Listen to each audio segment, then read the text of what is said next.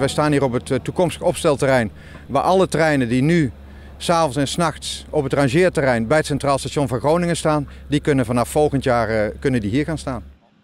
En hier is het terrein dat bekend staat als de Vork. Een gebied dat tussen de spoorlijn naar Bad Nieuweschans en de lijn naar Assen ligt ingeklemd. De komende maanden wordt hier 11 kilometer aan spoor aangelegd om treinen tijdelijk te kunnen parkeren. Aanstaande zaterdag start dit project, waardoor er vanaf het weekend tot volgende week dinsdag geen treinverkeer mogelijk is richting Assen, Nieuweschans en Veendam. Ja, aanstaand weekend gaat onze spooraannemer Structon die gaat de eerste twee wissels inbrengen. En eigenlijk wat ze dan gaan doen is een soort, ja vroeger hè, bij de civiele werken zeg je werkweg, maar om een soort spoorweg te bouwen, zodat ze gewoon uh, het gebied in kunnen. Dat opstelterrein, dat wordt een heel groot terrein, wat eigenlijk uit twee delen bestaat. Ja, het opstelterrein wat hier gebouwd wordt bestaat zo dadelijk uit twee delen. Het ene deel is voor het regionaal openbaar vervoer. Daar komt geen uh, elektrische bovenleiding boven. En het andere uh, treinengedeelte is voor, voor de NS. En daar zit wel bovenleiding boven. De komende vier jaar wordt hier gebouwd. Met ook een enorme capaciteit, 11 kilometer aan spoor. Hoeveel treinbakken kunnen hier straks staan? Nou, in totaal kunnen er voor zeg maar de regionale sporen even uit mijn hoofd 110, 120 bakken komen.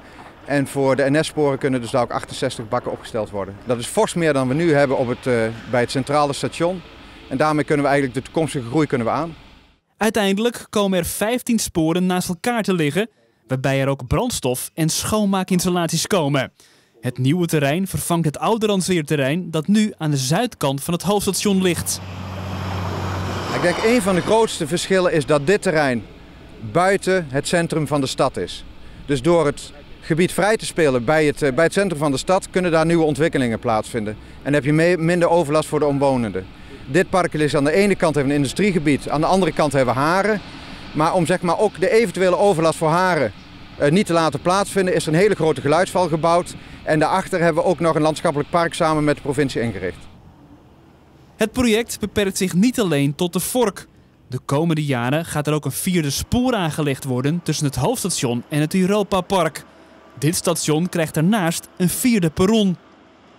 Ja, dat is absoluut noodzakelijk. Hè. We hebben een enorme uh, toename van het aantal treinreizigers. We willen meer treinen willen we kunnen faciliteren en daar hoort meer spoor bij.